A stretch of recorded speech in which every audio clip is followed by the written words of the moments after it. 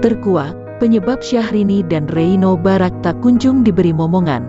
Kualat ke Luna Maya, gegara hal ini, namun, sebelum lanjut ke videonya, jangan lupa untuk subscribe juga aktifkan notifikasinya. Supaya sahabat pertama kali mengetahui informasi ini, tonton hingga habis biar tidak terjadi kesalahpahaman. Jika sudah mari lanjut ke videonya.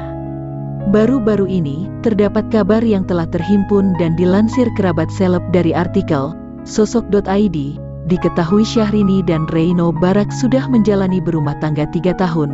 Selama itu Syahrini dan Reino Barak masih belum dikaruniai seorang momongan. Sementara, di dalam ramalan Denny Darko, dirinya bahkan sempat mengaitkan dengan artis Luna Maya. Seperti yang diketahui, sebelum menikah dengan Syahrini, Reino Barak sempat berpacaran dengan Luna Maya tersebut. Namun, tak lama setelah putus dari Luna Maya, lantas Reino Barak berhubungan dengan Syahrini hingga mereka menikah. Dari hal itulah, banyak netizen yang berspekulasi bahwa Syahrini telah merebut Reino Barak dari Luna Maya.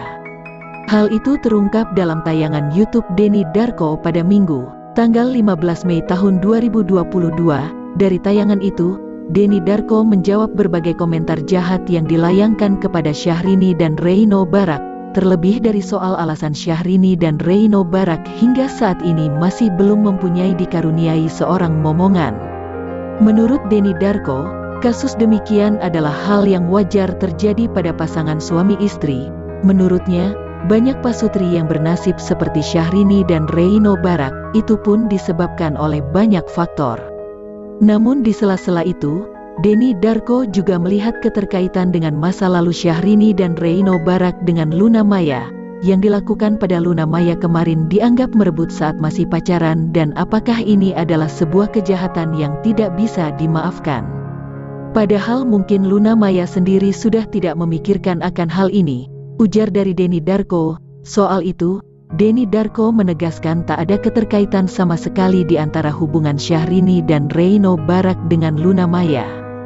Jangan-jangan ini akan menimbulkan keretakan, namun sebenarnya tidak akan terjadi perceraian bahkan sampai dua tahun ke depan tidak akan terjadi apa-apa imbuhnya. Terakhir, Denny Darko melihat apa yang sebenarnya terjadi.